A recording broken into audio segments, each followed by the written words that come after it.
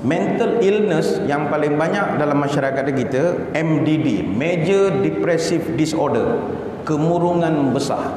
Murung. Selalu fikir masalah duit tak ada kerja tak ada macam-macam. Hari ini kalau di Malaysia 6.3% daripada penduduk Malaysia yang dewasa menderitai MDD belum lagi masuk BD BD ni bipolar disorder dia mengalami gangguan perubahan mood yang begitu drastik sekali. Sekejap dia gembira, sekejap dia menangis, sekejap dia moody, sekejap dia marah. Kenapa saya bawakan angka-angka ini? Nak menunjukkan ketenangan jiwa adalah perkara yang paling mahal sekarang ini. Mahal. Ketenangan tak boleh dibeli. Tuan-tuan duduklah tepi pantai East Coast ke West Coast ke mana-mana, belum tentu tenang, belum tentu. Duduk di rumah tidak tenang. Ketenangan benda yang paling mahal sekali sekarang. Sebab sebagai manusia, kita ini terlalu banyak nak dipikirkan. Kadang-kadang kehidupan kita ini sebab terlalu banyak berfikir, kita menjadi semakin jauh dengan Allah Ta'ala. Bila jadi semakin jauh, maka ketika itulah keresahan melanda dalam jiwa kita. Hadirin hadirat sekalian, ada satu finding dapatan daripada Kementerian Kesihatan. Sekarang ini masyarakat kita dilanda penyakit-penyakit berbahaya ataupun penyakit kronik yang bukan penyakit berjangkit non communicable diseases. Penyakit-penyakit seperti contoh penyakit kardiovaskular jantung saluran darah serangan jantung stroke tekanan darah tinggi hypertension kolesterol tinggi ini yang banyak dihadapi oleh masyarakat kita yang kedua paling banyak dihadapi oleh masyarakat kita adalah kanser ataupun barah. Di Singapura saja kematian kerana kanser 2584 kematian setiap tahun. Orang Melayu paling ramai sekali yang menghidap kanser limfoma berbanding dengan orang Cina dan juga orang India. Sehingga nisbahnya bagi setiap 100,000 penduduk 21.3% merupakan lelaki Melayu akan menghidap barah limfoma.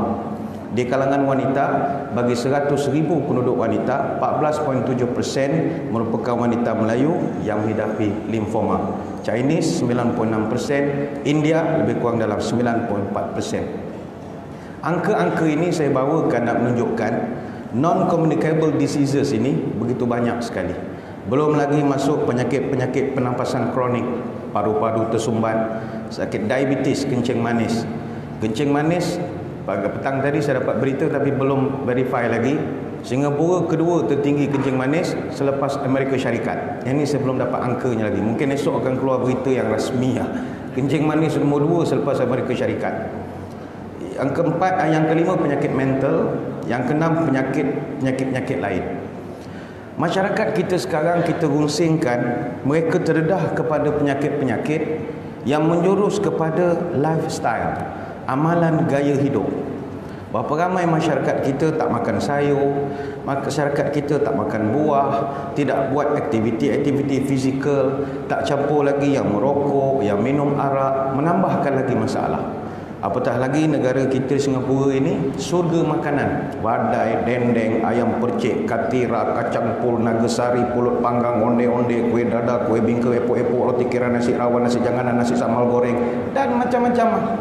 Saya sementara tunggu tuan-tuan ni semayang Berapa makanan dihidangkan pada saya. Epok-epok ada Nasi Biryani Ayam masak merah Teh tarik lagi. Luar biasa sekali. Yang kita runsingkan adalah Ia menambahkan kepada beban penyakit Kepada masyarakat kita. Tetapi ada lagi yang lebih kita khawatirkan berbanding penyakit-penyakit fizikal tersebut iaitu masalah gangguan mental. Gangguan mental ini satu masalah yang perlu kita ambil perhatian. Statistik di Singapura saya kurang pasti. Belum sempat pergi ke Buangkok nak buat kajian lebih mendalam. Tetapi kalau di Malaysia, tahun 2020, penyakit mental akan jadi penyakit kedua paling tinggi selepas penyakit jantung. Tahun 2008, Malaysia hanya ada 400,227 orang pesakit mental tapi sekarang tiap tahun sudah meningkat 2,000 orang, 2,000 orang, 2,000 orang. Sebab itu kalau tuan-tuan pergi ke Malaysia, pergi ke Johor, pergi ke Melaka, nisbah orang yang sakit mental begitu tinggi. 10 orang yang kita jumpa, kurang separuh gila tu hati-hatilah ada short wire mungkin daripada 10 5 ataupun 4 itu ada penyakit mental. Saya ingat dalam masjid kita ni pun ada sakit mental. Cuma sebab dia makan ubat dia okey lah.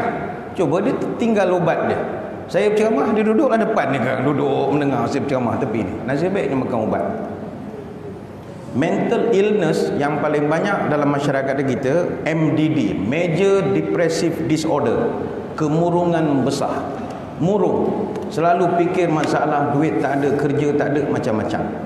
Hari ini kalau di Malaysia 6.3% daripada penduduk Malaysia yang dewasa menderitai MDD belum lagi masuk BD BD ni bipolar disorder.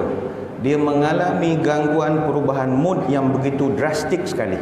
Sekejap dia gembira sekejap dia menangis sekejap dia moody sekejap dia marah kenapa saya bawakan sebab itu bila bercerita tentang orang stres tuan-tuan agak zaman Nabi ada orang stres atau tidak ada zaman Nabi ramai sahabat yang stres dan datang jumpa dengan Nabi ada satu riwayat satu hari Nabi jalan dalam kota Madinah Tiba-tiba Nabi nampak satu orang sahabat nama Abu Umamah radhiyallahu anhu.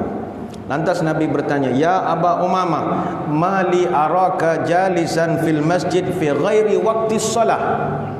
Weh Abu Umamah, kenapa aku nampak engkau duduk dalam masjid? Pada masa ini orang tak duduk dalam masjid?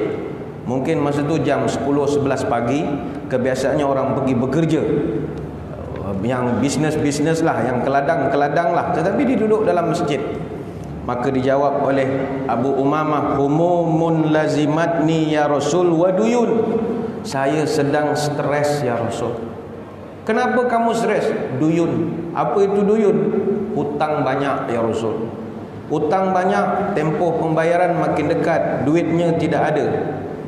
Maka Nabi pun bersabda afala uallimuka kalaman? Idza anta qultahu azhab Allah azza wa jalla hammaka wa qada anka dainaka? Oh maukah kamu saya ajarkan satu bacaan? Berupa doa yang kalau kau amalkan nescaya kegelisahanmu dihapuskan dan hutangmu nanti akan diuruskan kembali dijawab oleh Abu Umamah bala ya Rasulullah of course saya nak ya Rasulullah Apakah doa tersebut? Ni tuan-tuan bacakan. Kata ulama, bacalah doa ini dua kali di waktu pagi, dua kali di waktu petang. Qul idza asbahta wa idza amsayta. Kata Nabi bacalah di waktu pagi dan petangmu. Allahumma inni a'udzubika minal hammi wal hazan wa a'udzubika minal ajzi wal kasal wa a'udzubika minal jubni wal bukhli wa a'udzubika min ghalabati daini wa qahri rijali bacalah doa ini ya iaitu maksudnya ya Allah saya berlindung kepadamu daripada rasa gelisah dan stres.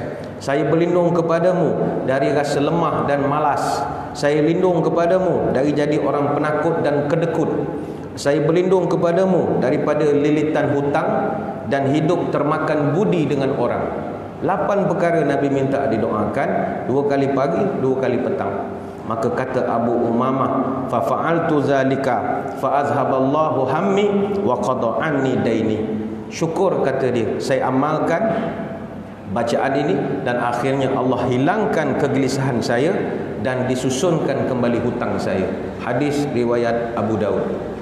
Makanya stres tetap berlaku daripada dulu sampai kiamat. Yang penting cara kita menguruskannya dan dengan siapa kita bertemu untuk menguruskan masalah tersebut.